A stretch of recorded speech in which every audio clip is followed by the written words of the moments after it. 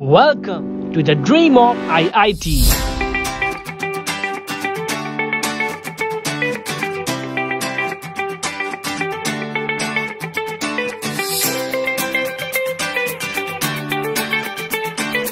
Every year, around 10 lakh students give IIT exam. And just for 16,432 seats. The selection chances are just 1.6%. Even attempting to give this exam is like a meditation. But the people who clear IIT JEE, what do they get? Is it this endless list of successful startups by IITians? Well, IIT Delhi alone has 1060 companies, out of which 24 are unicorns. Or is it their lakhs and crores of packages that every year IITians get?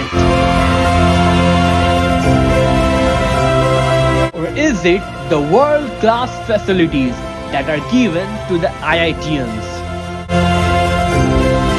Or is there something very special about the grading and education system at IITs that produces these amazing outcomes?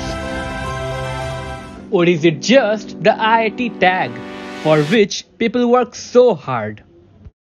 Well, I personally believe it's none of them. Because it's not the ideas that comes to these IITs. Instead, it's IITians from whom these ideas come.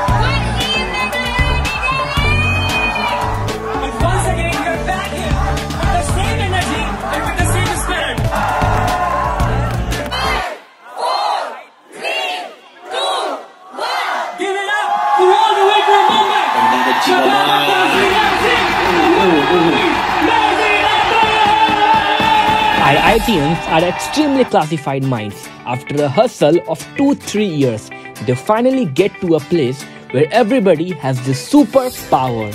They compete with 10 lakh people every day for 2 years. And you know what? When finally all these minds come together, what happens? That's when we say it's not IITs who form students, it's students who form IITs.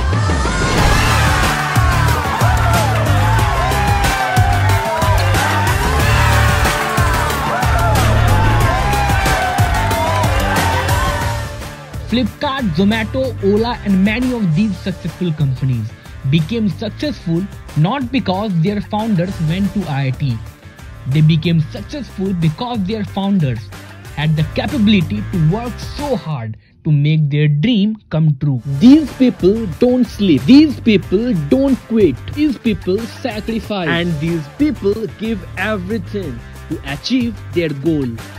So it's totally up to you to transform yourself into a person who belongs to that 16,432 group of people. But what happened to those 9,86,766 persons who couldn't clear IIT?